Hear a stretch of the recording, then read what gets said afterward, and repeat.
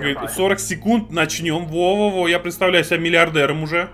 По-моему, был разговор про то, что если возникнет пожар, воспользуйся инструментами типа ведро. Ты, говорит, опускаешься, говорит, на самое дно. Сейчас увидишь, увидишь Титаник. А может быть и нет. Так, нам закрыли иллюминатор, сказали, говорит, все, говорит, двигайся по приборам.